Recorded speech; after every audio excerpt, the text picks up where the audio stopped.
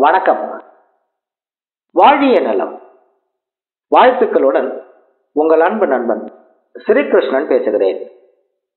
ஒரு புதிய தலைப்பு. பெண்களுக்கு யோகம் தரும் முப்பத்தி ரெண்டு அங்க அமைப்புகள். இது தலைப்பு. பலன்கள் காண்பதற்கு பல வகைகளை நம் முன்னோர்கள் கடைபிடித்திருக்கிறார்கள்.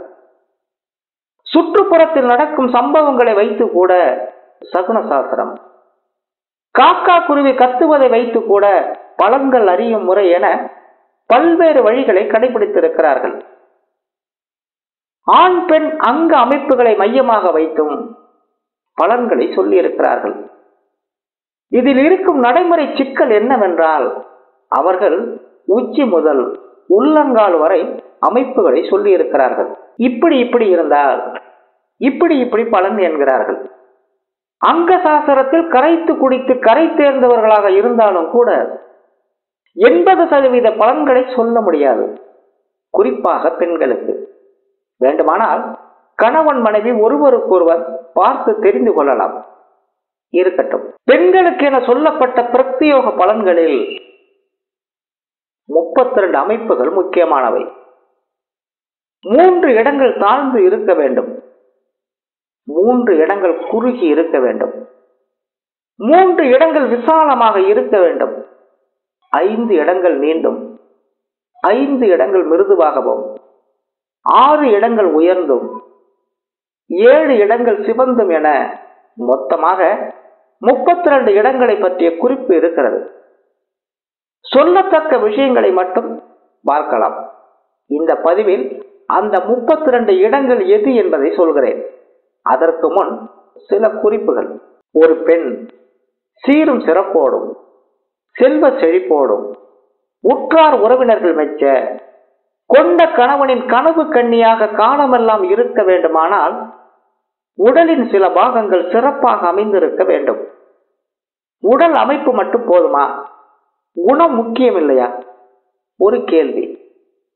எத்தனையோ சுமாராக பெண்கள் அவளுக்கு என்ன உரை? புருஷங்காரன் உள்ளங்கையில் வச்சு தாங்குறான் என்று சொல்கிற மாதிரி கவலையே இல்லாமல் வாழ்க்கை நடத்தும் பொழுது வானுலோகத்து தேவதைகள் போல் அழகு பெற்ற பெண்கள் பலர் வாழ்க்கையை துளைத்துவிட்டு கண்ணீரோடும் உள்மன காயங்களோடும் வாழ்கிறார்களே என்று கேட்கலாம். எங்குதான் அங்க சாஸ்திர சூட்சமங்கள் இருக்கிறது. நாம் சொல்கிற அழகு என்பது வெளித்தோற்றம். வெளிப்படுத்த முடியாத உள் தோற்றம் என்பது உடலில் ஆடைகள் மறைந்துவிடும் பகுதி. இந்த பகுதி அமைப்புகளை வைத்தும் பலன்கள் சொல்லப்படுகிறது. லட்சுமணன் கோடுகளை சீதை வேண்டுமானால் தாண்டி இருக்கலாம். நம்மால் முடியாது. இயன்ற அளவு நாசுக்காக சொல்லக்கூடிய செய்திகளை தொகுத்து தனித்தலைப்பில் பின்னர் தருகிறேன். இப்போதைக்கு சாதாரணமாக எல்லோரும் பார்க்கக்கூடிய ஒன்றை சொல்கிறேன். தலைமுடி. என்னையா இது அநியாயமா இருக்கு? கூந்தலுக்கு இத்தனை ஜோசியமா என்ற ஆச்சரியமோ வியப்போ காட்டுகிற அளவுக்கு விளக்கங்கள் இருக்கிறது. பெண்ணின் கூந்தலானது சுருள் சுருளா? சுருட்டை முடியாக இருந்தால் சகல ஐஸ்வர்யங்களையும் பெறலாம். எப்படியான குடும்ப பின்னணியில் பிறந்தவர்களாக இருந்தாலும் கூட நாளடைவில் அவர்கள் வாழ்க்கை வயது போல் வளரும். தலைமுடி குட்டையாக இருந்தால் பெண்கள் வேண்டுமானால் முடி கொட்டுது வளரல என்று கவலைப்படலாமே தவிர அவர்களுக்கு செல்வம் சேர்கிறது என்று பொருள். எப்படி தொப்பை செல்வ சேர்க்கையின் அறிகுறி என்கிறார்களோ பணக்கார தொந்தி என்கிறார்களோ அதுபோல் தலைமுடி குட்டையாக இருந்தால் அவர்களிடம் பண வசதி கூடிக்கொண்டிருக்கிறது என்று சொல்வார்கள். ரொம்ப நீளமும் இல்லாமல் குட்டையாகவும் இல்லாமல் முதுகு வரை மட்டுமே தலைமுடி இருந்தால் கணவனை பணக்காரராக்குவார்களாம். அதாவது இவர்களது யோகமானது கணவனுக்கு செல்லும். அதன் மூலம் குடும்பம் செழிக்கும் என்று பொருள் கொள்ளலாம். தலைமுடியானது கருகருவன கருப்பாக இருந்தாலும் அதில் ஒரு மினுமினுப்பு தெரிந்தாலும் தனவதி குணவதி பதிவிரதை என்கிறது சாஸ்திரம். தனவதி என்றால் தெரியும் தானே? மகாலட்சுமி கடாட்சம். குணவதி அன்பானவர்கள். பதிவிரதை கணவனுக்கு உண்மையானவர்கள். ஆனால் தலைமுடி எந்த அமைப்பில் இருந்தாலும் முடியானது சிவந்து போயிருந்தால் கபில வர்ணம் என்று சொல்லக்கூடிய காவி நிறத்தில் இருந்தால் பொருளாதார தட்டுப்பாடு அதிகமாகிவிடும். ஜாதகத்தில் கெட்ட திசை நடப்பது போல் ஏழரை சனி அஷ்டமத்து சனி என்பது போல் தலையில் முடி செம்பட்டையாக மாறினால் கால நேரம் சரியில்லை. காசு பண தடை என்று உணர்ந்து கொள்ளலாம். வாழ்க்கையில் பெரிய போராட்டங்களை கடந்தே வர வேண்டி வரும். தலைமுடி அள்ளி கட்டும் பொழுது பின் கழுத்து பகுதியில் உள்ள முடியானது குதிரை வாழ் போல் தோற்றமளித்தால் அவ்வாறான பெண்கள் சண்டை பிரியர்களாம். ஏதாவது ஒரு வம்பு தும்புன்னா விட மாட்டாங்க இப்படி போகிறது பலன்கள். இது உதாரணத்துக்கு சொல்லப்பட்டதுதான். நாம் செய்திகளுக்குள் செல்வோம். ஆண்களுக்கும் பெண்களுக்கும் என அங்க அமைப்பில் தலா முப்பத்தி ரெண்டு இடங்கள் பற்றிய செய்திகள் இருக்கிறது. இந்த தலைப்பில் பெண்களை பற்றி பேசினாலும் ஆண்களை பற்றிய தகவல் அடுத்த பதிவாக வரும். அது வாழியம் நலம் சேனலில் இடம்பெறும். சரி பெண்களுக்கு ஐந்து இடங்கள் நீண்டு இருக்க வேண்டுமா அது என்ன ஐந்து இடங்கள்? கண் காது மூக்கு கை முழங்கால். நடக்கும்போது கைகள் அசையும். ஆனால் சட்டம் மாதிரி கைகள் கீழ்நோக்கி இல்லாமல் மதுரை மீனாட்சி அம்மன் கைகள் போல் சற்றே பக்கவாட்டில் வளைந்திருப்பது நல்ல யோகமாக சொல்லப்படுகிறது. பிறப்பிலிருந்து இறப்பு வரை மாற்றமடையாத அல்லது வளராத ஒரே உறுப்பு கண்கள். பெண்களை பற்றி சொல்லும் பொழுது மான்விழி கயல்விழி என்றெல்லாம் கண்களை பற்றி கவிஞர்கள் சொல்வார்கள். அங்க சாஸ்திர அமைப்பில் அவ்வாறான கண்கள் யோகமாக சொல்லப்படுகிறது.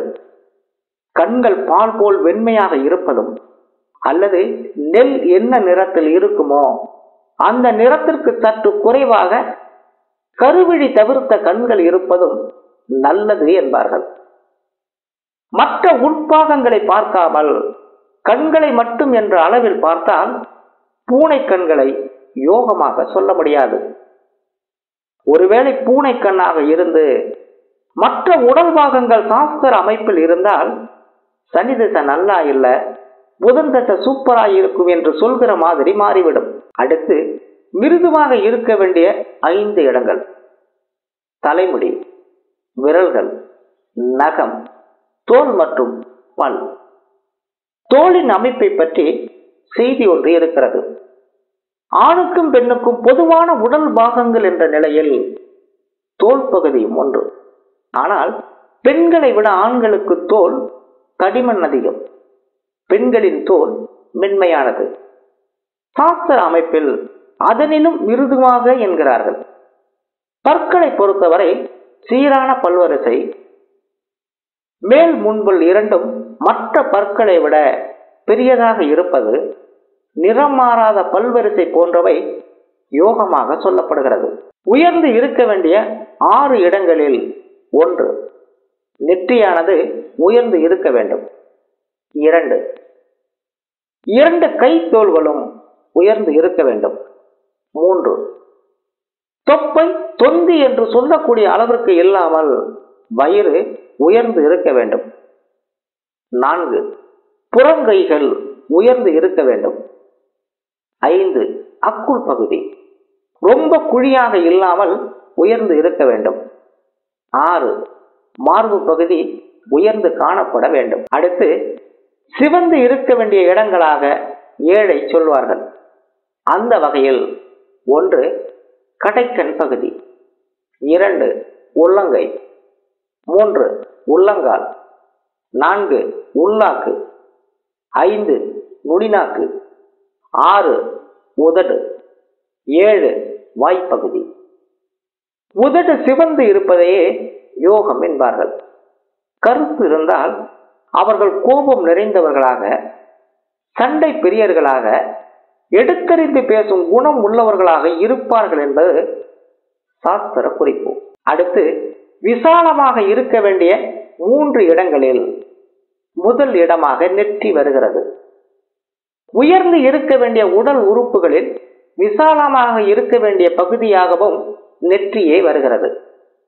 மற்ற இரண்டு இடங்கள் பார்வைக்கு உரியதாக இருக்காது. ஒன்று தொடைப்பகுதி. இன்னொன்று மார்பு பகுதி குறுகலாக இல்லாமல் அகன்று இருக்க வேண்டுமா அவ்வாறு இருப்பதே யோகம். செல்வநிலை நல்வாழ்க்கை உயரிய கௌரவம் இனிய தாம்பத்தியம் என்று வர்ணிக்கப்படுகிறது. அடுத்து குறுகி இருக்க வேண்டிய இடங்கள் மூன்று. அதில் முதலாவதாக கழுத்து வருகிறது. இரண்டு முழங்காலுக்கு கீழ் உள்ள கால் பகுதி. கெண்டைக்கால் பகுதி கட்டில் கால் போல் சட்டம் போல் இருக்க வேண்டும். வி ஷேப்பில் குண்டாக தடித்து இருக்கக்கூடாது. மூன்றாவதாக குறுகி இருக்க வேண்டிய பகுதிகளில் ஒன்றாக அல் குல் வருகிறது. இது தொடர்பாக பெரிய விவாதமே தமிழ் இலக்கிய நூல்களில் இருக்கிறது. அல்குல் என்றால் கண் புருவம் என்று சொல்பவர்களும் இருக்கிறார்கள். அல்ல இடையும் துடையும் ஒன்றிணைகிற இடத்தில் உள்ள பெண்மை அங்கமென சொல்பவர்களும் இருக்கிறார்கள். படமெடுத்து ஆடும் பாம்பு போல் என்ற வர்ணனையும் இரண்டுக்கும் பொதுவாக வருகிறது. இறுதியாக தாழ்ந்து இருக்க வேண்டிய மூன்று இடங்களாக நடுமார்பு நெற்றியின் கீழ்ப்பக்கம் உந்தி அல்லது நாபிக்கமலம் என்கிற தொப்புள் பகுதி இவை மூன்றும் தாழ்ந்து இருக்க வேண்டுமாம் ஆக இந்த முப்பத்தி ரெண்டு பாகங்கள் சரியாக அமைந்தால் அவர்கள் மகாராணி போல் வாழ்வார்கள். இதிலும் கூட எந்த பகுதி எப்படி அமைந்தால் எந்த வயதுக்கு மேல் பலன் தரும் என்கிற இன்னொரு விளக்கமும் இருக்கிறது. மேலும் அவய குறிப்புகளை அதிகபட்ச செய்திகளோடு இன்னொரு தலைப்பில் வந்து உங்களை சந்திக்கிறேன். ஆண்களை பற்றிய முப்பத்தி ரெண்டு குறிப்புகள் விரைவில் வாழியும் நலம் சேனலில் பார்க்கலாம் என்று சொல்லி மீண்டும் ஒரு இனிய தலைப்பில் உங்களை நான் சந்திக்கிறேன். அதுவரை உங்களிடமிருந்து வணக்கம் கூறி விடைபெறுவது உங்கள் அன்பு நண்பன் ஸ்ரீகிருஷ்ணன். வணக்கம்.